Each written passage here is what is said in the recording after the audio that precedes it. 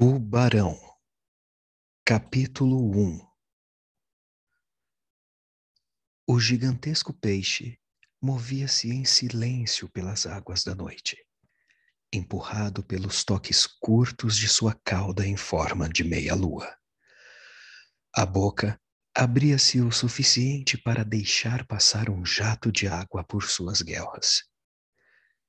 Havia um outro discreto movimento uma mudança eventual do curso, aparentemente sem sentido, feita por um leve levantar ou abaixar da barbatana do peito, como um pássaro que muda de direção, abaixando uma asa e levantando a outra.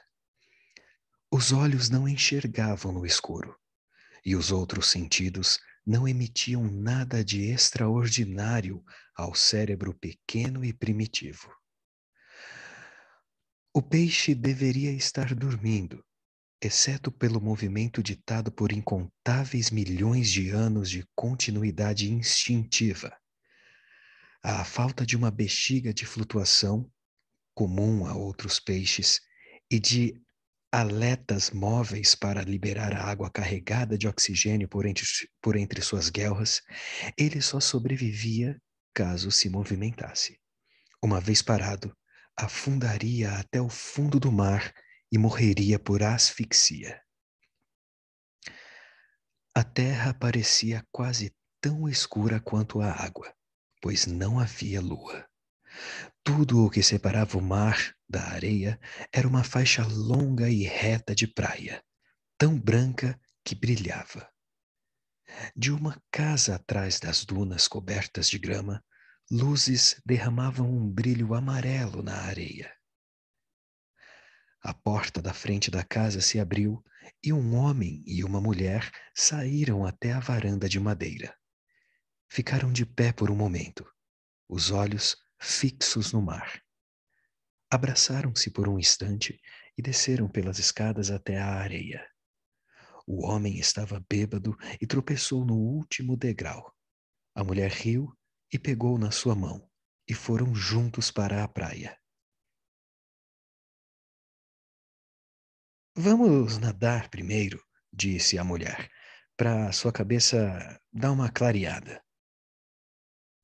Ah, deixa minha cabeça para lá, disse o homem. Rindo, caiu de costas na areia, puxando junto a mulher. Foram tirando as roupas, Braços e pernas se entrelaçaram e eles se amaram com ardor na areia fina. Depois, o homem se deitou de costas e fechou os olhos. A mulher olhou para ele e sorriu. Agora, que tal dar uma nadada? Ela disse. Ah, vai você, eu te espero aqui. A mulher se levantou e caminhou até onde as ondas suaves molhavam seus tornozelos. A água estava mais fria do que o ar da noite, pois era meados de junho. A mulher gritou para ele: Tem certeza de que não quer vir? Mas ele não respondeu. Já havia adormecido. Ela recuou uns passos e correu para a água. No início, seus passos eram longos e elegantes, mas logo uma pequena onda bateu nos seus joelhos. Ela se desequilibrou, voltou a se endireitar e atirou-se sobre a onda seguinte, que bateu na altura de sua cintura. A água chegava até seus quadris. Então ela empinou-se, tirou o cabelo da frente dos olhos e continuou a caminhar até a água cobrir seus ombros. Começou a nadar, desajeitada, a cabeça fora d'água, acompanhando as braçadas num jeito típico de quem não aprendera a nadar direito. A cem metros da praia, o peixe sentiu uma mudança no ritmo do mar. Ele não viu a mulher, nem sentiu ainda seu cheiro. Ao longo de seu corpo havia uma série de dutos finos repletos de muco e dotados de terminações nervosas que detectaram as vibrações e enviaram sinais para o cérebro. O peixe virou-se em direção à praia. A mulher continuou a nadar para longe da areia, parando de vez em quando para guiar sua localização através das luzes que vinham da casa. A maré estava calma, então ela não havia se afastado da beira, mas estava ficando cansada. Ficou boiando por um momento para descansar e em seguida começou o caminho de volta. As vibrações agora estavam mais fortes. O peixe identificou a presa. A cauda passou a acelerar, empurrando seu corpo gigantesco para a frente numa velocidade que agitou os pequenos animais fosforescentes na água, fazendo-os brilhar e espalhando um véu de faíscas sobre ele. O peixe se aproximou da mulher e passou rápido ao seu lado a uma distância de uns quatro metros e a uns dois metros de profundidade. A mulher só sentiu uma onda, como uma pressão que a levantou na água e a jogou de volta. Ela parou de nadar e prendeu a respiração. Como não sentiu mais nada, voltou a nadar. O peixe agora a tinha farejado e as vibrações, irregulares e intensas, indicavam agitação o peixe começou a nadar em círculos junto à superfície. Seu dorso surgiu da água e sua cauda, batendo de um lado a outro, cortava a superfície espelhada com um assovio. Tremores sacudiram seu corpo. Pela primeira vez, a mulher sentiu medo, apesar de não saber do que. Uma descarga de adrenalina percorreu seu corpo e membros alfinetando-os e obrigando-a a nadar mais rápido. Calculou que estaria a uns 50 metros da praia. Conseguia ver a faixa de espuma branca das ondas batendo na margem. Via as luzes da casa e, por um momento, aliviada, pensou ter visto alguém passar por uma das janelas. O peixe estava ao lado da mulher distante cerca de 12 metros dela, quando de repente virou-se para a esquerda, afundou na água por completo e, com duas rápidas arremetidas da cauda, estava sobre ela. A princípio, a mulher achou que tinha machucado a perna numa pedra ou num pedaço de madeira. Não sentia dor, apenas um puxão violento na perna direita. Tentou alcançar seu pé direito, boiando com a perna esquerda para manter a cabeça acima d'água. Ela não conseguiu encontrar seu pé. Buscou sua perna mais acima, e então foi tomada por náuseas e tontura. Seus dedos tatearam uma ponta de osso e a carne dilacerada. Ela sabia que o fluxo quente e pulsante que passava pelos seus dedos na água fria era seu próprio sangue. Dor e pânico a tomaram ao mesmo tempo. A mulher virou a cabeça para trás e soltou um grito agudo de terror. O peixe tinha se afastado. Engolira a perna da mulher sem mastigar. Ossos e carne passaram direto por sua enorme garganta. O peixe virou-se novamente, guiado pelo fio de sangue que saía da artéria femoral. Um guia tão claro e seguro quanto um farol numa noite sem nuvens. O peixe voltou a atacar, agora por baixo. Bateu nela, mandíbulas arreganhadas.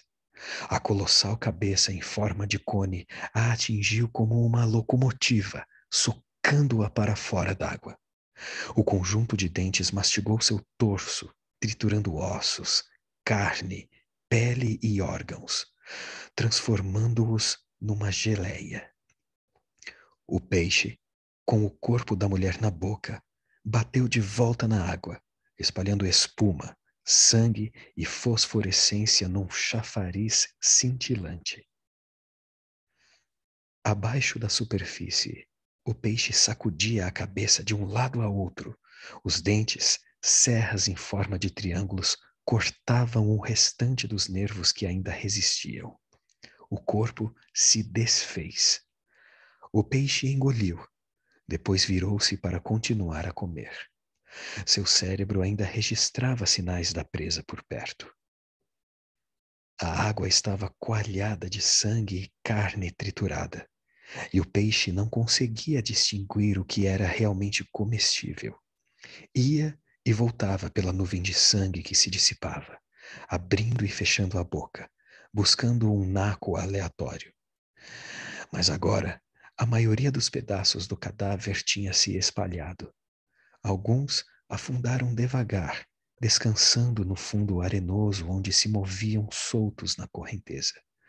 Uns poucos pedaços foram levados à superfície, flutuando nas ondas que iam parar na arrebentação. O homem acordou, tremendo com o frio daquele início de manhã. Sua boca estava grudenta e seca, e seu arroto ao despertar tinha gosto de uísque e milho. O sol ainda não havia nascido, mas uma linha cor-de-rosa no horizonte indicava que estava prestes a amanhecer. As estrelas ainda piscavam no céu, que começava a clarear. O homem se levantou e começou a se vestir. Estava aborrecido por ela não o ter acordado quando voltou para casa, e achou estranho que ela tenha deixado as roupas na praia. Ele as pegou e entrou novamente. Atravessou a varanda na ponta dos pés e delicadamente abriu a porta de tela, lembrando-se de que ela rangia quando empurrada. A sala de estar estava escura e vazia. Havia copos espalhados, ainda com bebida, cinzeiros e pratos sujos. Passou pela sala, foi até o corredor à direita. Passou por duas portas fechadas. A porta do quarto que ele dividia com ela estava aberta. Um abajur na mesinha ao lado da cama estava aceso. As duas camas estavam arrumadas. Ele jogou as roupas numa delas, voltou para a sala e acendeu a luz. Os dois sofás estavam vazios. Havia mais dois quartos na casa. Os donos dormiam num deles. Dois outros hóspedes ocupavam o outro. Em silêncio, o homem abriu a porta do primeiro quarto. Havia duas camas, cada uma com uma pessoa. Fechou a porta e foi para o próximo quarto.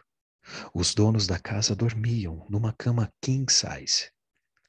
O homem fechou a porta e voltou para o seu quarto para pegar seu relógio. Eram quase cinco da manhã. Sentou-se numa das camas e ficou olhando para o amontoado de roupas na outra. Tinha certeza de que ela não estava na casa. Não havia outros convidados para o jantar, portanto, a menos que ela tivesse ficado com alguém enquanto ele dormia, ela não poderia ter ido embora com ninguém. E mesmo que tivesse, pensou ele, ela provavelmente teria levado ao menos algumas de suas roupas. Só aí que ele se permitiu pensar na possibilidade de um acidente. Rapidamente, a possibilidade tornou-se certeza. Voltou ao quarto do dono da casa, parou por um momento ao lado da cama e então, delicadamente, pôs a mão em seu ombro. Jack, falou, batendo em seu ombro. É, ei, é, Jack. O homem suspirou e abriu os olhos.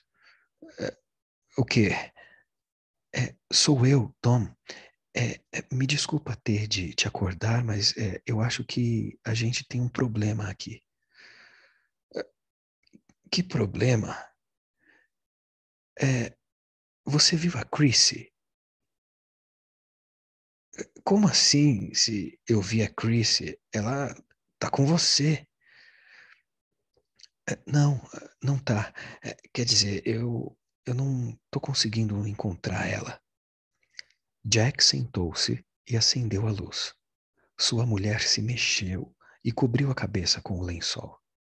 Jack olhou para o relógio em seu pulso. Meu Deus, são cinco da manhã e você não consegue encontrar a sua namorada. É, eu sei, é, disse Tom. É, me desculpa. É, você se lembra da última vez que viu ela? Claro que eu me lembro. Ela falou que vocês estavam indo dar uma nadada e daí vocês saíram pela varanda. É, quando você viu ela pela última vez? Na praia. Aí eu, eu, eu acabei caindo no sono.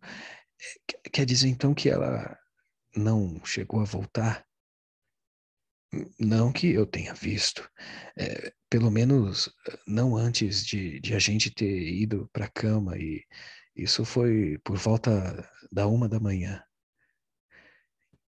É que eu achei as roupas dela. Onde? Na, na praia? É isso. Você procurou na sala?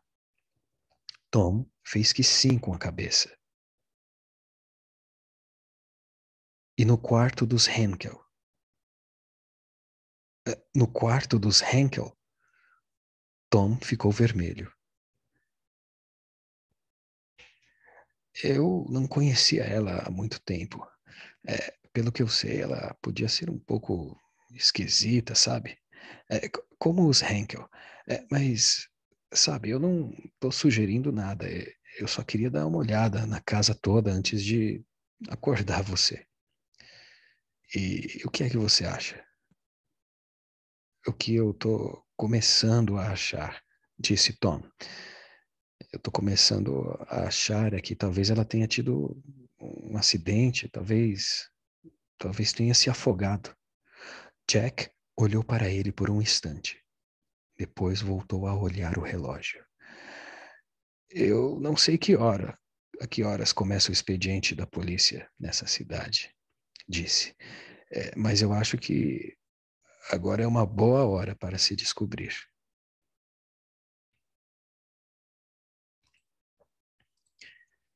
Fim do capítulo 1.